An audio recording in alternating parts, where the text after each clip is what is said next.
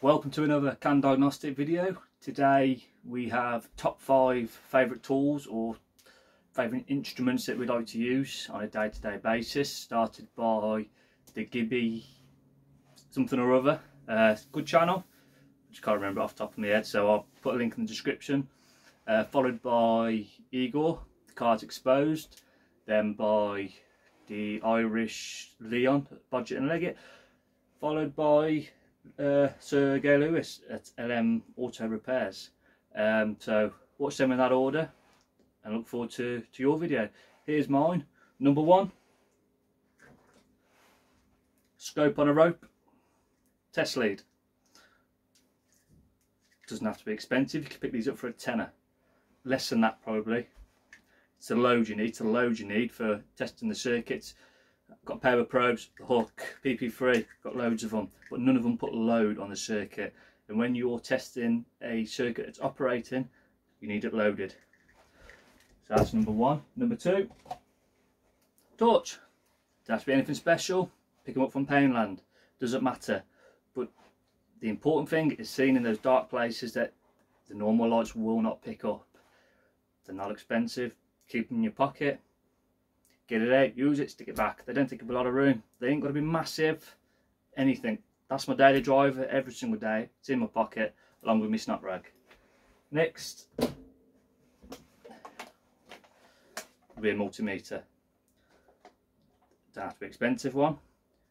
For 99% of the time, you do not need to be looking into the hundreds or thousands of millivolts or amps you're testing the battery, you want to see 12.6, you can see 12.6 on a £5 multimeter or a £1,000 multimeter. Doesn't, doesn't make much odds. Number four is probably an oil can. Now, I know that's a bit of a cop out, but imagine how often you'd get a noisy bushing, noisy bearing, doors a bit sticky, squeaking, every service, put a bit of oil on it, put a bit of oil on it. It's not hard, it's dirt cheap, practically free, and it goes a long way. So it's little things that are really important. I think that takes us to number five. I've been doing this job a long time.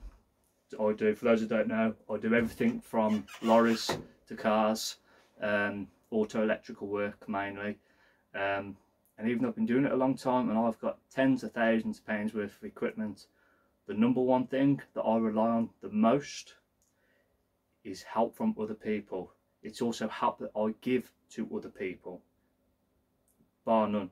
Of the people that I've met through YouTube have quickly become some of the, the best people I know some of the best friends I have. And that that's that's amazing to me. You can pick up a phone ring one of them or quite often they'll ring me for advice, help, help each other. It's not hard. The way I do that the easiest, instead of answering loads of messages I get, is through the forums. And I'll show you a quick brief on the one that I use and one that I help on on a daily basis. This is the one, prodiag.boards.net. It's run by ECU Tech and LM Auto Repairs. Now I know you've heard of both of them. Obviously LM Autos is Lewis and ECU Tech is an ECU specialist from down south called Chris. Two top blokes. If you've got questions to ask, ask them here. If you've got people to help, help them on here. Would be a lot better place if we just helped each other a little bit more. Right, and finally, Lewis, stop being nasty to Leon. It's not his fault, he's a bit simple. I actually rang him today and he counted to five, okay. He, I asked him to count to ten.